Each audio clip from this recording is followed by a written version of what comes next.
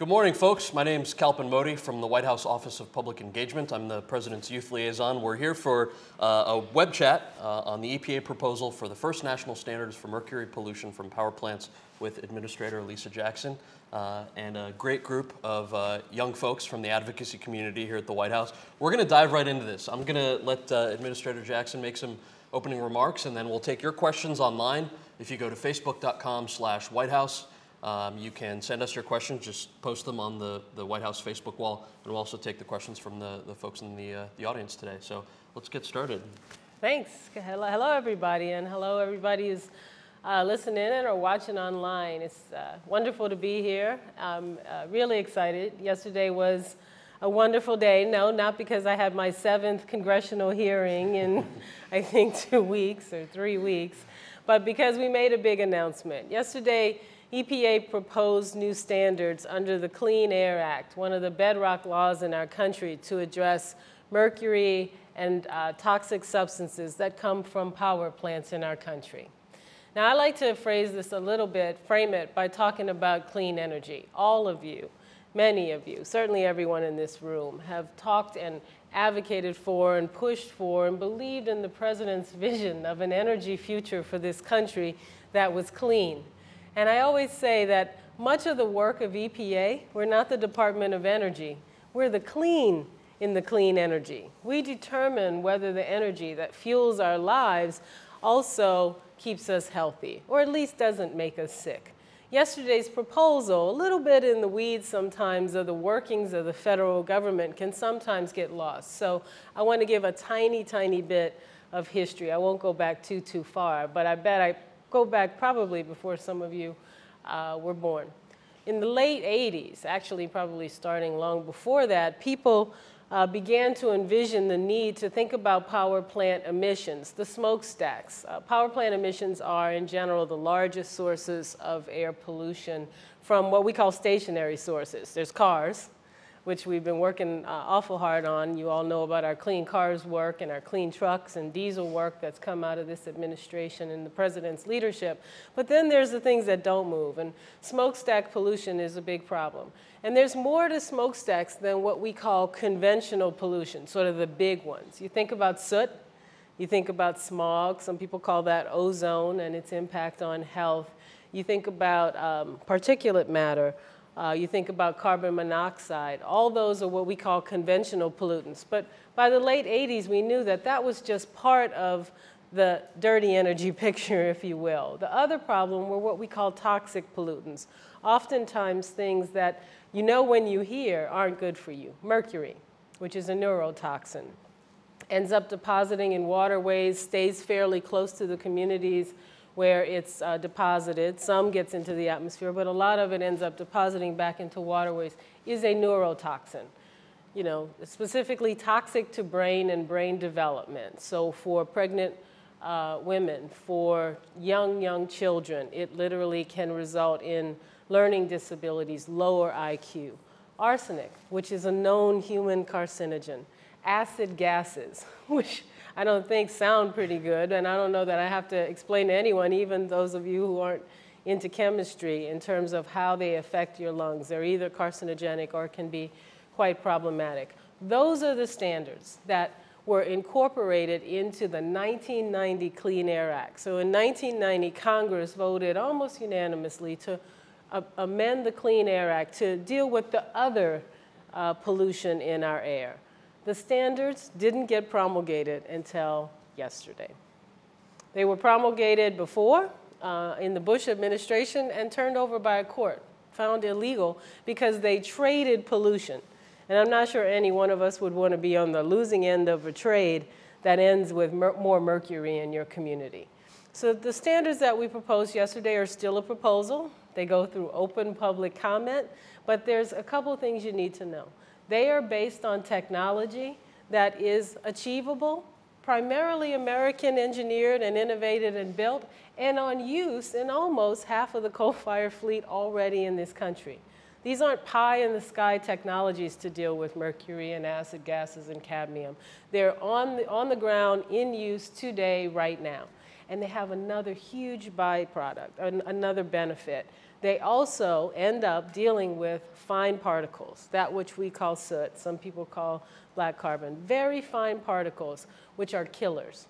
Most of the pollution we deal with makes you sick and over time, increases asthma attacks, means more heart attacks, means lung disease, means bronchitis.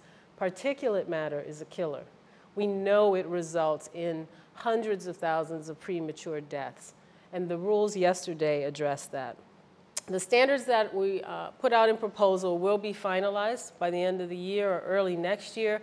Then when they're finalized, companies have three years to put them in place. This is a pretty aggressive set of uh, standards under the Clean Air Act because these are pretty harmful pollutants. They can get an extra year, so three to four years. When they're in place, we estimate 17,000 premature deaths each year will be avoided, 11,000 heart attacks avoided, 120,000 asthma events avoided a year because of the pollution that won't be in our air. If that's not a huge part of the clean energy picture, I don't know what is. So I'll leave you with that thought that I know you work and talk and think and hope to work someday in the clean energy space. Remember that what goes into the air, what goes into our water, is what, or more importantly, what doesn't, is really what makes energy clean. Thanks. Thank you. I'm going to start with one question that I, I think we, have seen a trend in, um, and then I think a lot of folks are wondering on the broader youth engagement piece, which is, especially the last two years, we've seen incredible successes um, because of young people. So right. what's going on in Darfur, um, you know, what's happening or what happened with Don't Ask, Don't Tell, um, with healthcare reform, with student financial aid reform. Certainly there's a lot more room to grow, but these are major, major successes that young people have fought for for decades to get done. This sounds like another one of those successes. So can you talk a little bit about the role that young people played, particularly youth advocates played in, in, in helping move this along? Absolutely. Yeah, yeah, you can't, it can't be overstated how important your advocacy was. Um, I, I, think it is not an understatement to say it's this president, his administration's support for doing the right things by these rules. Remember what the president said in the State of the Union address this year. Listen, we're, we want smart, efficient, lean government, but we also want clean air. Americans have the right to, to clean air, all Americans, not just some communities. We want to continue to have our legacy of clean water. Many of you were lucky enough not to have to fight the fights to get the Clean Air Act passed. But believe me, you were instrumental in getting the Clean Air Act to be more than words on paper. It's wonderful to have a strong law, but without an administration, without a government that supports people's health, this is a public health statute that fights to ensure that reasonable investments are made. And by the way, you will hear lots of things about what these rules cost. They, they, this is an expensive rule that's going to be implemented over time. EPA's models show that the health benefits are 10 times the cost. So for every dollar that's spent here in America, hiring a worker, an engineer, a technician, an operator, a boilermaker, a pipe fitter, someone to do this work, there'll be 10 more dollars that someone doesn't see in avoided health care costs. That's, that's your legacy. And we, we take one day to look at the victories. I think this one deserves a lot more than that. So thank you all. Who's got a question for the administrator? No one wants to go first? All right, I'll, I'll take an online one. I'm going to call on you in a second. Um, this was submitted online from a, a woman named Kate Bromley. Kate says, I would like to know how the Clean Air Act has created jobs which industries are responsible for, which industries are responsible for the most pollution, how much average it costs to retrofit a manufacturing plant with appropriate scrubbers, and what the resulting health benefits are. I know you talked a little bit about the latter two, um, but what about the job creation? Which industries are, are, uh, are sure. the most polluting? So let's talk about jobs for a second. Um, I've, I've written a little bit about this because the Clean Air Act is probably uh, underrated in its ability to stimulate our economy. We uh, hear a lot about trade, for example, how we need to export more uh, and import less, or at least export more than we import. That's our trade balance, right? We're a net exporter of pollution control technology. Part of the reason is because we've got 40 year old laws like the Clean Air Act, the Clean Water Act. We've gotten pretty good in this country that if we know there's a, a pollution problem, be it ozone, be it mercury, be it uh, a drinking water issue, our engineers, our innovators, our scientists, our, our, our private sector develops solutions. And then the rest of the world says, hey, I'd like some of that too, and we sell that. We have an $11 billion surplus in environmental goods and services. So everything from scrubbers, which are the primary means of reducing SO2 pollution, uh, sulfur dioxide pollution in power plants, uh, to uh, selective catalytic reducers, which are sort of a version of the catalytic converters that are on every single automobile made in this country, are all exported, made and exported to other countries so they can use it on their power plants. You asked about what industries are affected. The rules yesterday affect the power industry, primarily uh, those power plants that burn coal or oil. Um, now, about 40 some percent of coal uh, fired power plants have already dealt with these rules. They saw them coming, they read the 1990 Clean Air Act like anyone else, and they made investments to clean up what comes out of their stacks. Um, all we're doing is suggesting that it is past time that we had a national standard so that everyone plays by the same rules and that in effect, those who have been putting off investing in their fleets don't continue to get a competitive economic advantage uh, as a result. Uh, we estimate that because these are phased in over time and because electric utility prices are determined by a whole range of issues, we're probably talking about three to four dollars a month, according to EPA's estimates, impact on utility bills, and it can be less. Who's got a question? Go ahead. Uh, so this is obviously this is obviously a, a great step towards making these power plants healthy and healthier for our communities. But I think that this dirty and dangerous energy is dirty and dangerous from start to finish. So I'm wondering what the EPA is going to do to stop mountaintop removal and ensure that the extraction of this energy is also made more safe for our communities. That's a great question.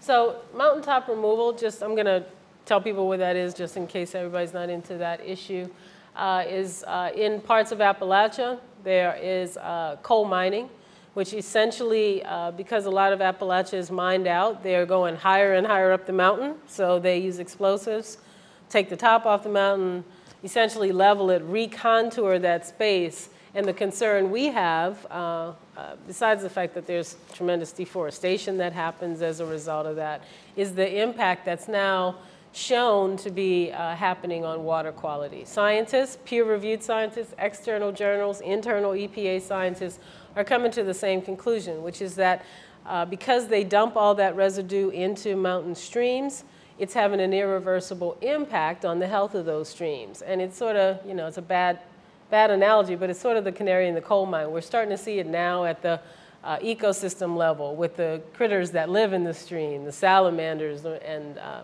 small critters. But that is just the first step towards the degrading of what in many cases are pristine uh, streams. They're the, they're the beginning of the watershed as the water trickles down.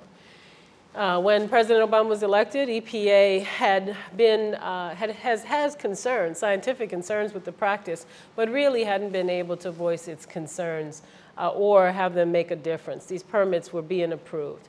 Uh, EPA and the Corps of Engineers came together and said, hold, there are about 79 permits in process. We'd like to take another look at them because we believe the emerging science is showing that this is not a safe practice from a water quality perspective. Um, many of those permits have now withdrawn their application, uh, and EPA has, has uh, worked with the Corps of Engineers on some that could be fixed, and they've been approved because they, they're either not mountaintop removal or there are actually situations where they're going to use the process of mining to um, uh, leave the land in a position where it's not going to impact water quality. It's probably the easiest way I can say it.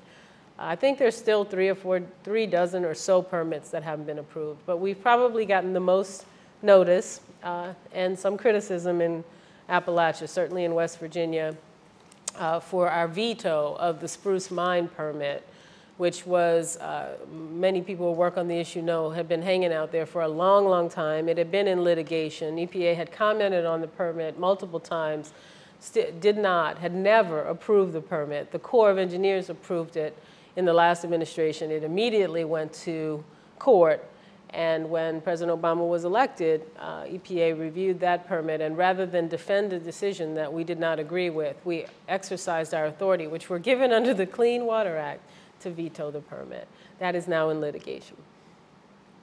Thank you. Good question. Um, this one's coming from the Facebook wall. Greg R. wants to know, and several folks have said that they think this is a good question. Uh, and I don't know if this, if you saw the President's State of the Union, maybe this is a question for Interior or Commerce, but you talked about the salamanders, so I'm going to ask you about the fish.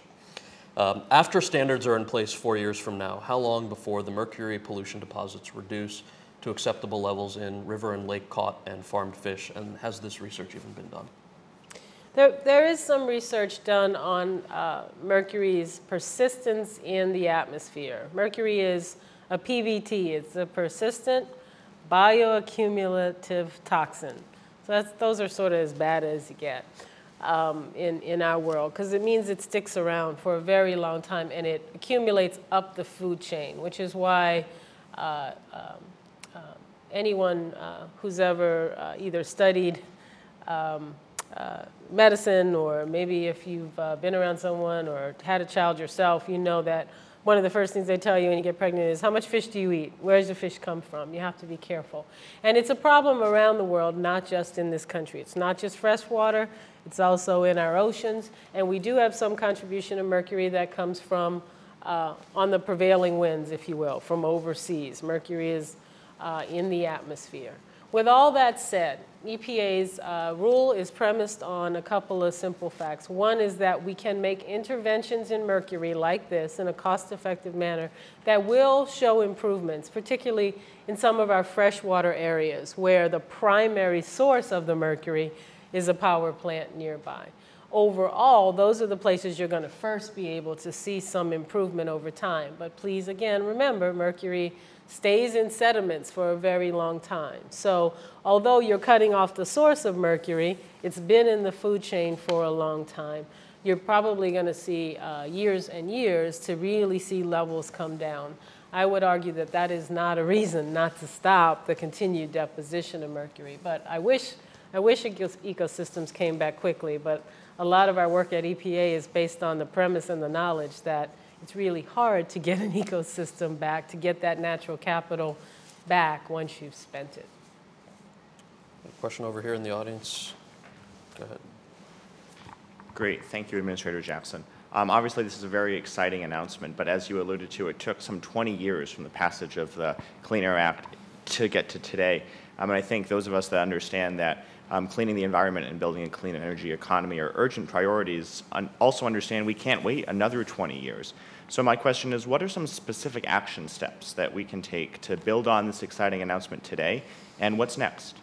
Well, first and foremost, get you know, stay involved. What you're doing here is really helpful because you're understanding how all these pieces of the puzzle fit together. Um, this is just one thing that we're doing at one agency, understanding the importance of clean energy. But when you look at it all together, it truly does add up. I saw an article not long ago in the paper, and it was commenting about um, the supply of oil, which obviously the world market on oil right now is causing a bit of chaos. And the article noted that domestic demand for oil is down. That's because of the president's clean car rule. That's exactly what the article said. And so um, the reason I bring that up is that when we think about the energy picture, it's all kinds of things put together. It's how we generate our electricity, how we get around, how we uh, responsibly produce the domestic sources of energy that we have here. How do we think differently about renewables and get them out and into the marketplace? And I know many of you are really familiar with all the spending on research, development, and deployment of efficiency and technologies that this president uh, has uh, championed and, and stood up for uh, uh during his first two years and uh, certainly has continued to call for, even in, in his budget, uh, when he talks about investing in out innovating and in infrastructure and in the technology that will help us win the future. So I don't mean to minimize this announcement. It's huge. It's huge because if you think about it, um, most people are surprised to find that it's 2011 and we are just now making national standards for mercury pollution. So, what that says is Those standards are going to be up for public comment, and we're going to uh, work to finalize them as quickly as we can. And then, good news is they'll phase in fairly quickly. And my belief is that we'll see investments in our energy system, in our um, generation system, that will, will happen in response to this and other things that uh, the president's been planning for a long time. So this is just to help you understand one small piece of a much, much larger picture. We have a few questions on this topic, some a bit more cynical than others, but the topic is the same. So I'm going to read. I'm going to read two in particular. Okay. Um, Ralph Gentles is saying, if you're so concerned about mercury, why are you forcing CFL bulbs on us? How much mercury is going into landfills from these bulbs? And then another question on the same topic, a bit more balanced perhaps. How do mercury concerns factor into the current debate in Congress over incandes- incandescent versus CFLs in terms of looking out for young people, the life cycle and costs, mercury and GHG emissions, um, and how do we discuss these issues here and with Congress? Yep. Okay, so when you think about mercury, just mercury, and these rules are about much more than mercury, and mercury and cadmium and arsenic, acid gas and dioxin and all kind of toxics. But let's just focus on mercury. And because I'm an engineer, let me get wonky for a little bit and say how you define the problem, how you ask the question, has a lot to do with whether you get um, the facts. And facts really matter here. Okay, incandescent bulb, highly inefficient. The vast majority of the energy used in an incandescent bulb is wasted in heat, not in light. You don't get light from it, that's why they're very, very hot. Everyone, I think, accepts that as the scientific fact. CFL bulbs, uh, much, much more efficient, last much, much longer, have a tiny amount of mercury in them. So, like anything that contains a tiny amount of a substance, you can't be exposed to it unless it breaks. Humans do make mistakes, but just think about that. So tiny amount of mercury over here. Let's go back to this incandescent bulb for a second. Okay, it's not running by itself. It needs power. You're plugging it in somewhere, whether it's a light fixture uh, or uh, uh, connected to the larger building, right? Where does that power come from? A power plant of some kind. There are all kinds of power plants. Some burn coal, some burn oil, some burn natural gas, some are nuclear, some are solar, some are wind, right? So, since about 40 to 50, depending on whose numbers you use, of our domestic power comes from burning coal, much, much more mercury is ending up in our atmosphere, tons and tons from plugging in an inefficient light because you need so much more power to make it go than if you buy a CFL, which is much more efficient, and you're careful with it. Now, if a CFL breaks in your home because it does have a small amount of mercury, please go to EPA's website or probably your state government's website and learn what to do to make sure you don't make that mercury volatilize. Essentially, you don't want to sweep it all over. You want to try to vacuum it up and get it up and then dispose of it. And there are guidelines for that. But if you're really going to ask the question about mercury, you can't compare the amount of mercury in a bulb uh, with uh, an incandescent. You have to look at the process and understand that when you talk about which lights you choose, that's a matter of efficiency. When you talk about emissions from a smokestack that are totally controllable with current technology, all we're asking utilities to do is make the investment. And guess what? Many of them already have. So it's not impossible. Uh, I've seen utilities do it, and I've seen their rates actually uh, go down after they've invested in cleaning up their emissions. Utility means useful and good, and dirty air is not useful and it's not good. Take another audience question. Um, what do we? Oh, you're over there. All right, go for it. Thank you, Administrator Jackson. Just first, thanks so much for your excellent leadership on these environmental issues. We really appreciate it, and all of your support for the environmental movement in general, such as coming to PowerShift next month. We really appreciate that. But then moving forward, you talked earlier about these, this new announcement saving tens of thousands of lives every year. Given that that is such a pressing dilemma, can we count on the Obama administration and Obama himself to veto any attempts or attacks on the Clean Air Act or on the EPA's authority to regulate greenhouse gases in general? Thanks. Well, you know, I was uh, thrilled. I was walking into the announcement for uh, this proposed rule yesterday, and I read the White House spokesman's statement on current efforts right now on Capitol Hill to remove, uh, to gut the Clean Air Act, to change the Clean Air Act, to take greenhouse gases out of the mix. So this rule doesn't, this proposal doesn't address greenhouse gases, but it addresses many of the plants that are the largest um, contributors to greenhouse gases on the stationary side, that being power plants. In our world, in our country, the big emitters of greenhouse gases are power plants, cars and trucks and vehicles, and then other um, uh, uh, uses, including manufacturing uses, but power plants and, uh, and refineries, and then other uses. So uh, let's think about it. When you have cars and trucks, because of the president's leadership, because of efforts that spanned all stakeholders, we actually control greenhouse gases emissions in cars and trucks. We're doing it in a very cost effective way, one uh, that increases the fuel efficiency of those cars and trucks encourages innovation and investments in everything from the air conditioning systems to the braking systems so that you can have choice in the kind of car you buy, but we're bringing down the amount of fuel that we need. We're breaking our oil addiction. So we're looking at that sector. We've made progress. Here's the power sector. And here's the Clean Air Act waiting to help start to get started on making that sector more efficient, to making it look at cutting greenhouse gas emissions when it makes big investments. The Clean Air Act is very good at that. I, I like to say it's not going to change things overnight. 1990 to 2011, I'm not going to sit here and tell you things change overnight, but they have changed. Air pollution in this country has gone down over 40 years of the Clean Air Act, 20 years of the amendments to the Clean Air Act. It can happen again.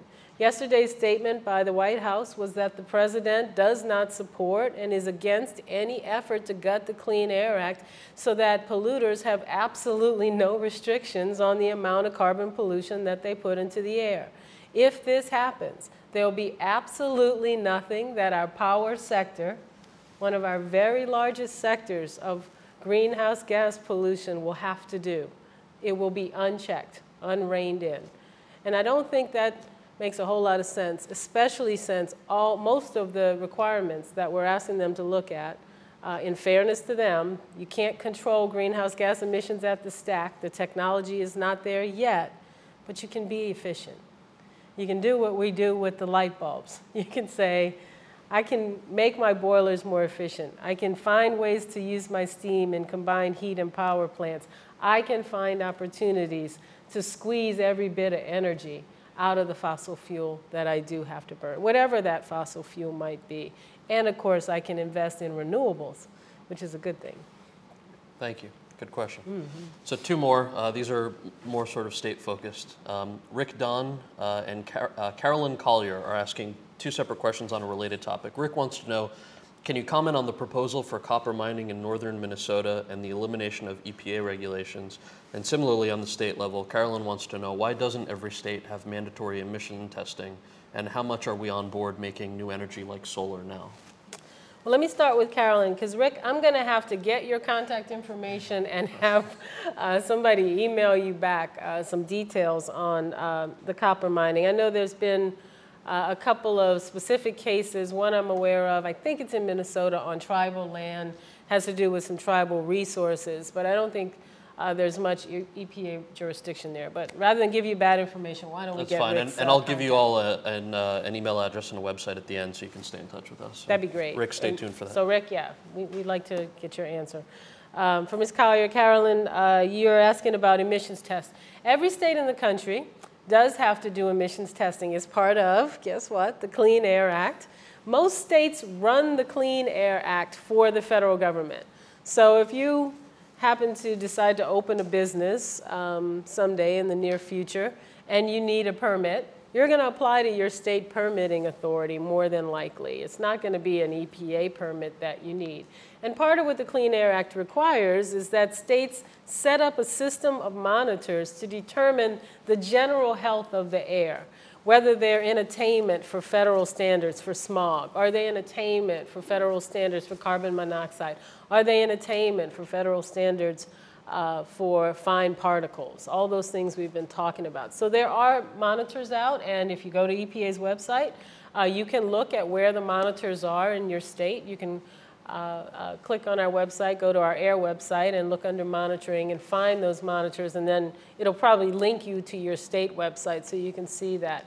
Carolyn, you might have been asking about greenhouse gas emissions testing. And there, uh, it is now uh, required that all large emitters of greenhouse gases report their emissions annually to the EPA. And then we put that uh, uh, uh, information out as well. I have to say, there are some efforts in Congress. This one really blows my mind to stop just reporting on greenhouse gases. Uh, knowledge is certainly uh, the first step to understanding the scopes of the prob- the scope of the problem we face. Lots of folks are able to uh, uh know what their greenhouse gas emissions are because if you don't monitor it, you can calculate it simply by knowing how much fuel you use. It's a pretty simple uh, calculation, and so we're hopeful that uh, that doesn't uh, uh, um, become uh, the law of the land because I think we uh, work so hard to get a reporting rule that doesn't put a huge burden on businesses but gives the public the right to know where greenhouse gas pollution is happening and frankly where we're making progress and where we're not. Great, thank you. We had a question from a young lady over here, I think. Just give us a second, we'll bring the microphone around so the folks at home can hear you. Good morning. Um, my name is Sasha Jones, and I come to you by way of Atlanta, Georgia, at Spelman College. And so Atlanta is, is interesting in the sense of its water, um, and we have kind of some interesting um, problems. So my question is, how does this new announcement address the other private sector um, industries, such as the bottled water industry, in terms of pollution and in terms of regulating what's actually in our water? And also, how does this um, announcement plan to address those environmentally despaired communities that have not typically been addressed um, in terms of the Clean Air and Clean Water Acts and other regulations in the past? Thanks, thanks. So this announcement doesn't, it's a Clean Air Act announcement. So to the extent that what's in the air deposits into our water, mercury is a great example of that. There will be some benefits for our rivers, our lakes, and our stream for people uh, who love to fish, who love to eat seafood, all those things. There are benefits there. But EPA has a huge portfolio of work, which is much more directly um, related to a lot of the, the issues in your question. I'll give you just a few things off the top of my head that EPA is working on. Uh, in Atlanta, uh, certainly one of the issues has been how we handle wastewater. Um, sewage, basically. And like many, many older cities, the, including Washington, D.C., sort of the state of practice 100 years ago when cities were building their infrastructure or more was you had storm water when it rained and you had sewage water from people's homes or businesses. And when the system got taxed, you just combined all that and raw sewage flows into our waterways. Atlanta is to be heralded, um, to be congratulated, because they've taken a leadership role on trying to address that issue. It is now against the law to discharge raw sewage that way, but the federal government understands that you can't just change hundreds of years worth of infrastructure overnight. So Atlanta, like many cities, has a federal um, consent decree to address separate, not separating, but addressing uh, raw sewage, ensuring that it doesn't enter waterways uh, when it rains. That's a huge issue and one to be commended for. The other thing that's really neat about Atlanta is, of course, that it's a growing and developing metropolis with lots of stormwater issues that come along with that. The stormwater is not neat, but Atlanta uh, is certainly uh, growing leaps and bounds. So whether it's the rainwater that comes off the highway system, the rainwater that comes off of uh, urban and suburban development, all those issues are being dealt with um, by the city as part of an integrated planning process that looks at what we call point sources, pipes, and runoff pollution uh, as well. And EPA is working pretty hard uh, with Atlanta on that. Of course, Atlanta had the drought, another uh, uh good example several years ago. And so I think one of the things that came out of that was an understanding of the need to conserve water and understand uh, Atlanta's place in the watershed, especially when it talk, talk about states that are down downstream of Atlanta who felt uh, that they were going to be suffering if there wasn't um, an abundance of water.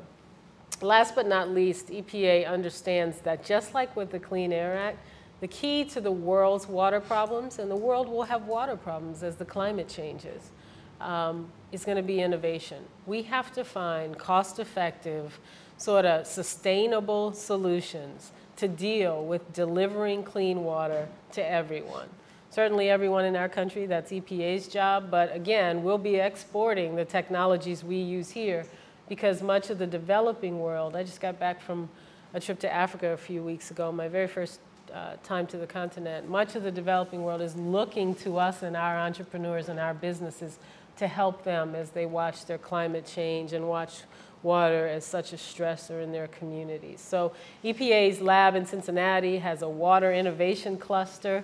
Actually, there's work going on at Spelman, you may well know about it, around water and an innovation uh, hub of activity that's going on around the AU Center and uh, the campus down there. There's several prop, uh, popping up around the country, and uh, it's really cool because private sector investment is, is, is, is right there because they see the opportunities to make money out of the world's growing need for clean water. How are we on time, Nikki? Good for a couple questions? Okay, so we have one more here Only from. easy ones. Easy ones? this one is pretty straightforward because I know you talked about it a little bit. Uh, Patrick Parrish wants to know uh, how is this announcement, your announcement yesterday, how is it supposed to bring jobs back to America? And is there a provision for removing fluoride and uranium reported to be in the water in certain areas? Oh, okay. So, how does it work for jobs? And then we'll do the uh, uh, uranium and fluoride issue separate. Um, it, it's good for jobs because I want you to think about the power sector. You always, we hear a lot about our jobs being exported overseas, about manufacturing just getting up and leaving.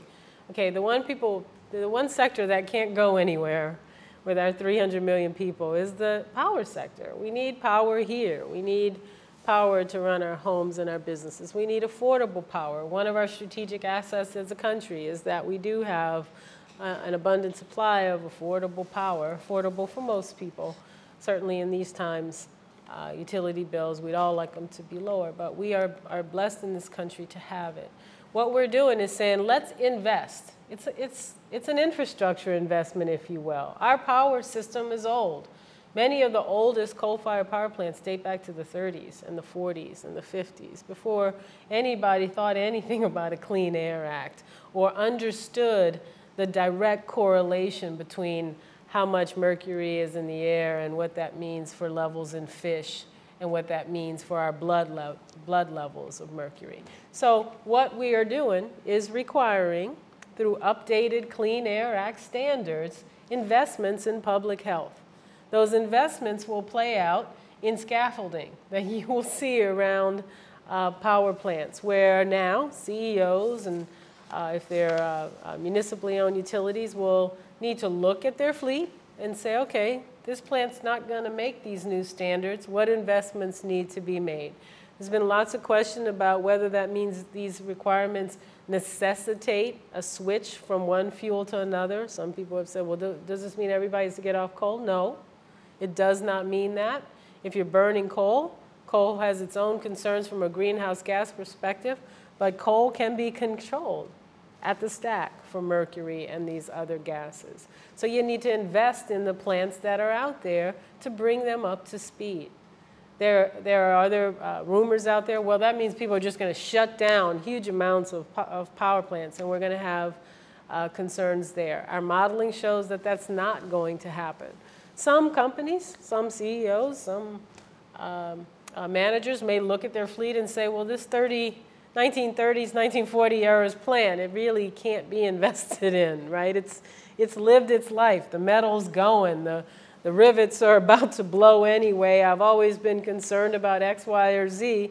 So they may make a decision that this one is not one that they're going to put any more money in. In those cases, there are huge opportunities to um, uh, deal with the actual surplus of generation capacity we have in this country right now. In some cases, newer, cleaner units aren't being run because older, dirtier ones can be run more cheaply and they've not been required to clean up.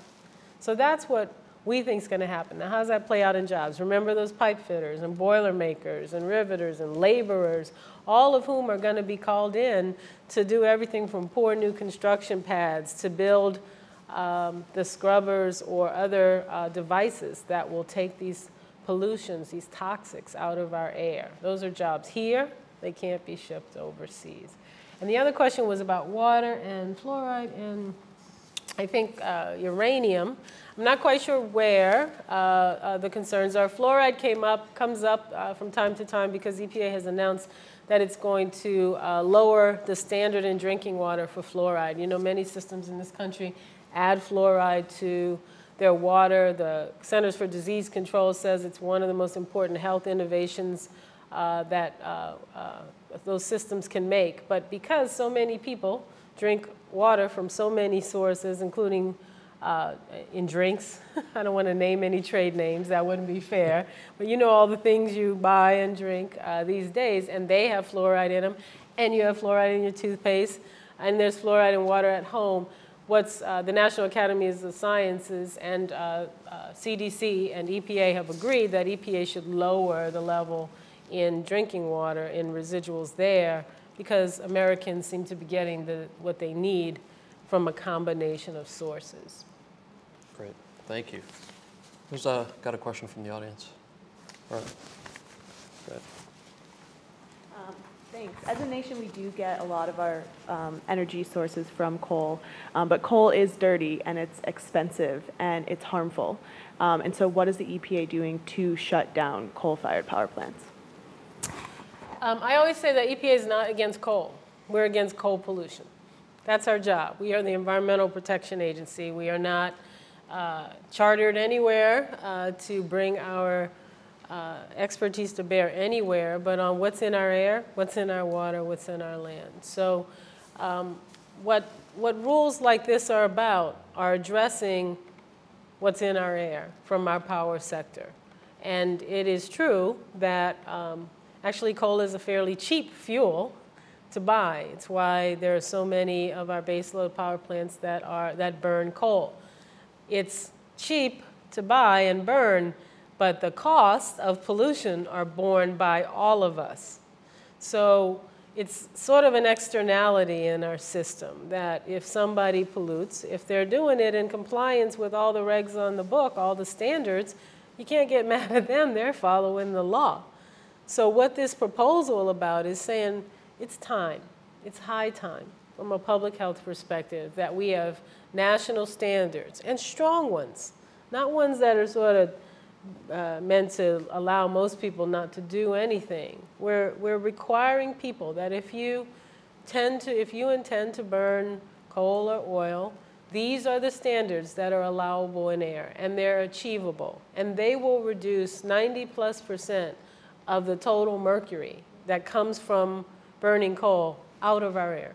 We'll, we will not have to deal with that uh, uh, because of these standards. That's the way EPA must and should deal with these issues, not based on whether or not we like it, but what the law tells us to do. When it comes to coal, the other areas that where EPA has significant work ongoing, you heard about uh, mountaintop removal mining.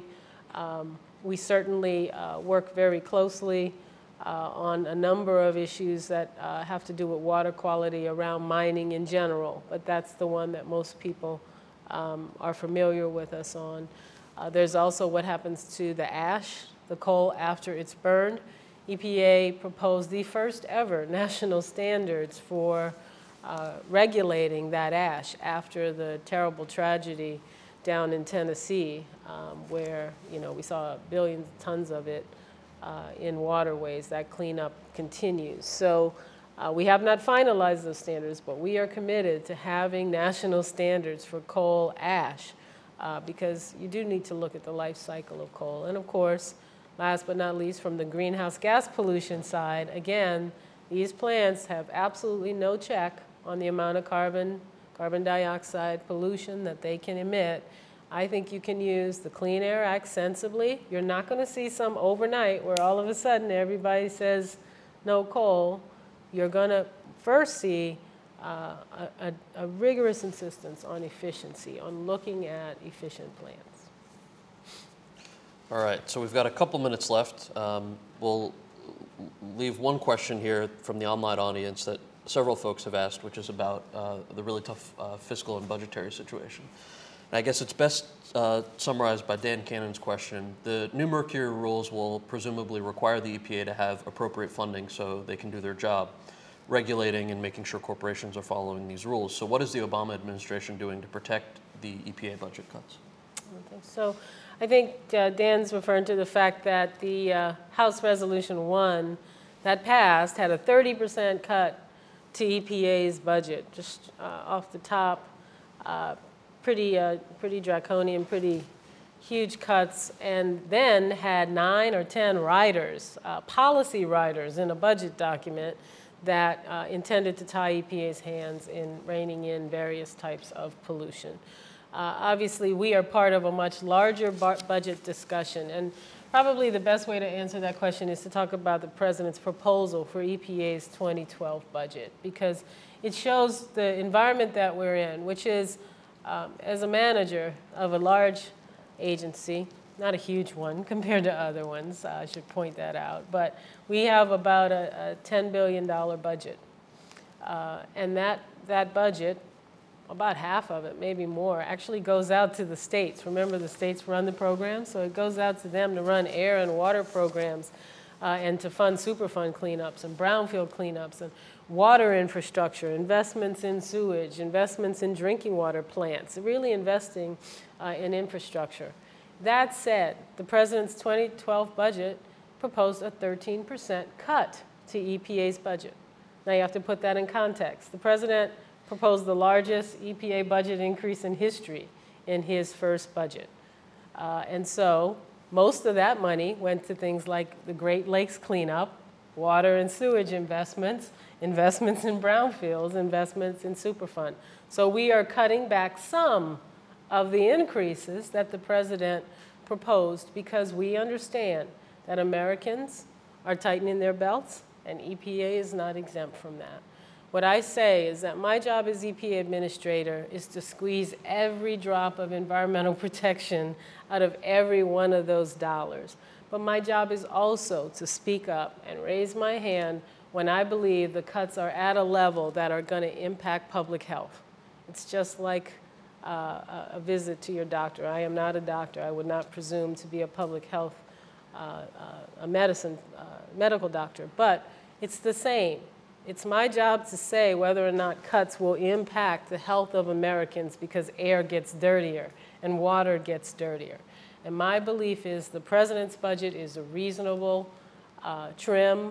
There are some tough cuts in there. There are cuts to water infrastructure investments, but they're based on the knowledge that the president made a huge investment in water infrastructure in the Recovery Act. Uh, his choice, a huge investment in diesel emissions in the Recovery Act. We got more money for Superfund and brownfields. So we're saying, okay, we can take, a, in a tough budget year, we can take some of that money off the table. But if you start cutting into EPA's core programs, our enforcers, our inspectors, the money we give to states to write permits, to do their enforcement work, if you start to cut into those funds in a drastic way, I have to raise my hand. And so for that reason, I support the president's budget. But I think that um, what we saw uh, in the, the um, House Republican efforts is very dangerous. Thank you. I know that we're, we're out of time for questions. There are folks online who are, some are frustrated we didn't get your questions, others are giving you a lot of love, so I want to make sure you know that. Um, for Take 'em folks. for folks whose questions we didn't get to, uh, you know, a lot of them were local or community in nature. Some of them were international. Uh, some of them had to do with state regulations. There is a way for, uh, for you to make your voices heard here with us at the White House. If you go to whitehouse.gov slash young Americans, uh, there's a toolkit there you can download to host your own roundtable on all the great issues that you raised with folks in your community. Send us that feedback and somebody will be in touch with you. So that's whitehouse.gov slash young Americans, especially the gentleman whose question you didn't get to answer. If you want to uh, shoot us a message through the, the interface there. And invite EPA. We'll come. We, we're, we'll come. Yeah, the president uh, has promised that the administration is going to do at least 100 of these. So if you, you want to request folks at the EPA, please, please go for it. Um, their website also, epa.gov. We're at whitehouse.gov. And the youth website is whitehouse.gov slash young Americans. want to thank everyone online for joining us, everyone in the audience here from the advocacy community, and of course, Administrator Jackson. Thank Thanks, you so much for joining Thanks for us. doing this. Thanks Absolutely. to the White House. Thank you all. Take care.